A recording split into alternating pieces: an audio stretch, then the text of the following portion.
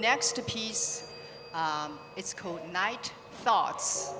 I composed this piece, pipa with percussion, and um, inspired by uh, Li Po's poem during Tang Dynasty, and also um, the very short uh, pipa melody um, from 8th century and discovered in a cave. It's called Dunhuang Cave, west part of China.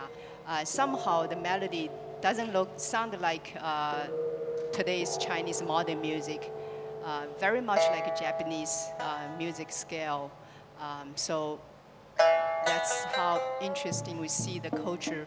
Uh, we, China, Japan, whatever the, the neighborhood, we're sharing a lot of uh, in commons in the culture, in the music.